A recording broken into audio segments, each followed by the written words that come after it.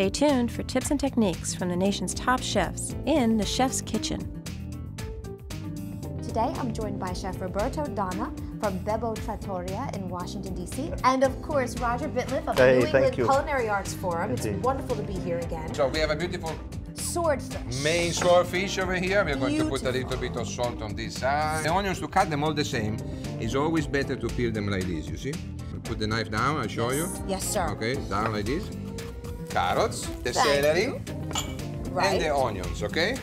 Okay, so all, All together. nice and a piece of bay leaves. So a little mirepoix. Yeah, I'll take uh, some of the onions you slice. They go inside to here. So now you're going to sear it on both sides. Yeah, on both sides. Tomato. Just a little Just to a little. moisten to moisten Yes. all the ingredients. So fish goes on the other side. Beautiful. This fish is fantastic. Well, it's from Maine. Of course, it's fantastic. Wow. Fantastic. Take the fish and we are going to Right finish it here. here. Stewing slowly. Here we go. Mm. Beautiful. Mm. Now for the You Chef, I don't can- mind sharing with this young me, lady. huh? Oh, you- oh, I oh, yeah, want some Oh, good. yeah. raisins and capers. I eat from Absolutely. Mm. Wow. Again, a beautiful medley of flavors. Wow. Taste of Sicily. To see today's recipe and all of the recipes featured on the Chef's Kitchen, log on to chefskitchen.tv.